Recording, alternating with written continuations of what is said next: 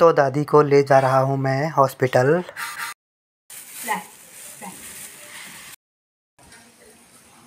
इसमें तो इतने में है।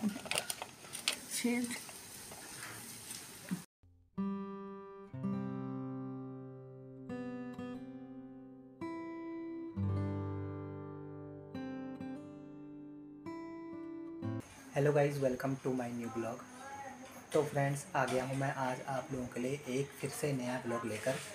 तो कैसे हैं आप सब? उम्मीद करता हूँ आप सब लोग ठीक ही होंगे। तो फ्रेंड्स मैं अभी अभी आया हूँ ड्यूटी से और अब मैं जा रहा हूँ दादी को लेकर डॉक्टर को दिखाने क्योंकि दादी को आज फिर से घबराहट की समस्या हुई है और परेशान हो रही है काफ़ी। तो मैं जाके दादी को ले जाता हूँ और डॉक्टर को दिखा के ले आता हूँ क्या? हैं? बुखार बुखार नहीं है, मेरे को घबराहट हो रहा मरती हूँ अब। चल रहे हैं, दिखा लाता हूँ। तो फ्रेंड्स, दादी यहाँ पे कर रही है थोड़ा काम। पहाड़ से आया था हमारे लिए पांगर। और ये देखिए, घोड़ाकाल भवाली से पांगर आए थे तो दादी उन्हें छिल रही है। दादी की तबीयत भी ठीक नहीं है। मैं दादी को ले जा रहा हूँ डॉक्टर के पास दिखाने के लिए, अभी थोड़ी देर में।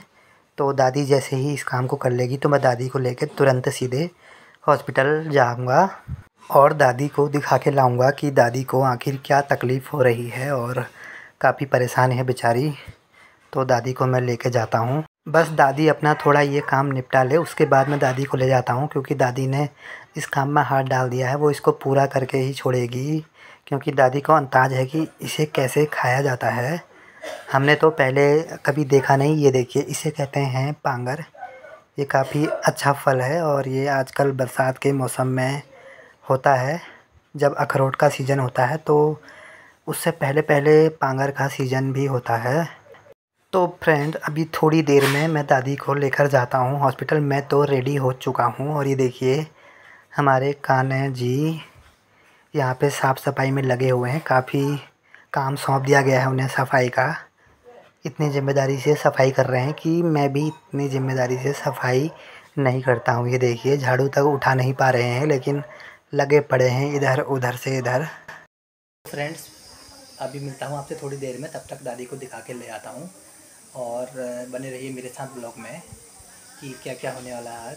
तो आइए चलते हैं।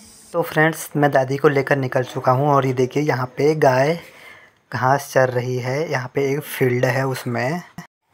तो फ्रेंड्स हम निकल चुके हैं दादी और मैं। दादी को दिखाने के लिए मैं निकल चुका हूँ। एक ऑटो मैंने यहाँ से पकड़ लिया है और उसमें बैठकर मैं दादी को लेके जा रहा हूँ हॉस्पिटल और फ़ोन पर मैंने अपना नंबर लगा लिया है दादी के नाम से। तो फ्रेंड्स ये देखिए, ऑटो वाले भैया भी काफ़ी अच्छी तरीके से गाड़ी चला रहे हैं क्योंकि शाम के वक्त है और काफ़ी ट्रैफ़िक हो चुका है शहर में। ये देखिए, आप देख सकते हैं शहर में काफ़ी ट्रैफ़िक है और काफ़ी अच्छा भी लग रहा है। ये देखिए, शाम के समय का मौसम, धूप जा चुकी है और लोग, कुछ लोग टहल भी रहे हैं, कुछ लोग घूम रहे हैं और कुछ गाड़ियाँ पहाड़ से इधर की तरफ़ आ चुकी हैं और कुछ जा रही हैं। ये देखिए, सब अपने अपने घर को जाने की तैयारी कर रहे हैं क्योंकि शाम का समय हो गया ये देखिए, यहाँ पे चौराहे पे कितना जाम लगा पड़ा है, काफ़ी ज़्यादा बहुत ज़्यादा ट्रैफ़िक हो रहा है यहाँ पे, लेकिन ये देखिए, ऑटो वाले भैया काफ़ी सावधानी से एकदम धीरे धीरे चला रहे हैं, क्योंकि उन्हें भी मालूम है दादी की तबीयत ख़राब है। तो फ्रेंड्स, ये देखिए, दादी का चेहरे से ही लग रहा है कि दादी की तबीयत कितनी ख़राब हो रही है। दादी के आँख भी एकदम गड्ढे में जा चुके हैं। काफ़ी कमज़ोर, काफ़ी वीकनेस हो रही है दादी को। तो दादी के लिए कुछ ऐसी दवाइयाँ लेके आऊँगा आज। ताकत की ताकत की दवाई दूँगा उन्हें आज। तो फ्रेंड्स, हम थोड़ी ही देर में पहुँच जाएँगे। ये देखिए, कितना अच्छा मौसम इस समय हो गया है। बारिश का मौसम हो रहा है वैसे, लेकिन यहाँ पे देखिए कहीं कहीं पर पेड़ दिखाई देते हैं तो कितनी हरियाली है इन पेड़ों के बीच। ये देखिए, लोग निकल गए हैं टहलने के लिए। और मैं जा रहा हूँ दादी को लेके हॉस्पिटल इस वक्त। ये देखिए, अभी यहाँ पे एक अंकल जी और बैठ चुके हैं हम लोगों के साथ। तो कुल मिला के तीन सवारी है। हमारे ऑटो में और हम थोड़ी ही देर में पहुँच जाएँगे हॉस्पिटल। ये देखिए, सड़क कितनी अच्छी लग रही है इस समय। एकदम सारी धूल मिट्टी सब नीचे बैठ गई है क्योंकि बारिश हुई थी। और यहाँ पे कुछ बंदर उछल कूद कर रहे हैं। हॉस्पिटल के पास दादी अंदर बैठी हुई है और मैं बाहर से यहाँ पे यहाँ पे बंदर की वीडियो बना रहा हूँ। ये देखिए, आपस में खेल रहे हैं सारे के सारे बंदर। इतना बड़ा पेड़ है यहाँ पे। कहीं कहीं पे पेड़ है, वहाँ पे बंदर दिखाई देते हैं। ये देखिए, यहाँ पे आपको दिखाता हूँ मैं। एक छोटा बंदर यहाँ पे मैंने देखा था। कितना अच्छा मौसम हो रहा है इस समय। ये देखिए, ये कूद रहा, ये कूदा। और अभी ये कहाँ को जाता है, देखता हूँ इसे। तो ये उतर चुका है। और इसका बच्चा भी उतर चुका है। ये देखिए, ये जा रहे हैं आगे की तरफ़। आगे वाले पेड़ में जाएँगे शायद। ये देखिए। ये देखिए फ्रेंड्स, ये जा चुका है आगे और इसका बच्चा भी दौड़कर इसके पीछे जा चुका है।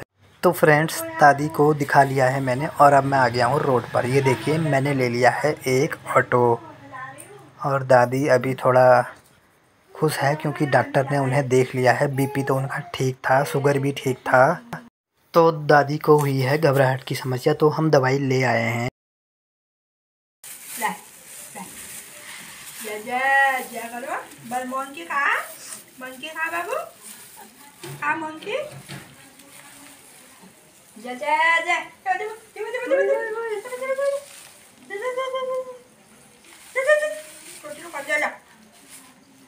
गुन्नू बुआ खा गुन्नू बुआ गुन्नू आ वो आ गई। वो आ गई गुन्नू बुआ जग जग गुन्नू बुआ आ गई। तो फ्रेंड्स हम आ गए हैं और पहुँच चुके हैं घर। ये देखिए, दादी यहाँ पे बैठी हुई है काफ़ी सुनसान क्योंकि दादी की तबीयत थोड़ा ख़राब है, इसलिए उन्हें अच्छा नहीं लग रहा है आज कुछ भी।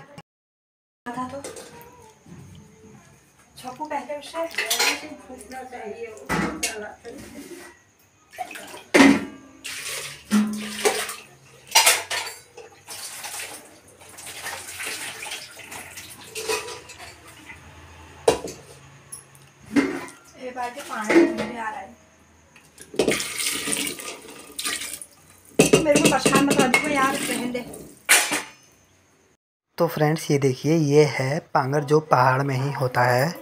और ये देखिए, मम्मी उबाल रही है पांगर को, क्योंकि मम्मी को उसका आइडिया है, मुझे तो नहीं है और भावना को भी नहीं है। दादी ने बताया कि उसे कैसे उबालते हैं तो मम्मी उसे उबाल रही है। ये देखिए, कुकर में रख दिया है। मम्मी ने थोड़ी देर में उबल जाएगा। तो फ्रेंड्स ये था पहाड़ का पांगर। तो फ्रेंड्स मैं आ गया हूँ दादी को डॉक्टर को दिखा के और दवाई ले आया हूँ थोड़ी बहुत उनके लिए। तो कल परसों तक दादी ठीक हो जाएगी और ये तेजस भी काफ़ी रो रहा है। तो आज का ब्लॉग होता है यहीं पे समाप्त। अगर आप मेरे चैनल पे नए हैं तो प्लीज़ चैनल को सब्सक्राइब कर दीजिए और लाइक कीजिए। ज़्यादा से ज़्यादा। तो फ्रेंड्स मिलते हैं आपसे अपने नए ब्लॉग में। तब तक के लिए बाय फ्रेंड्स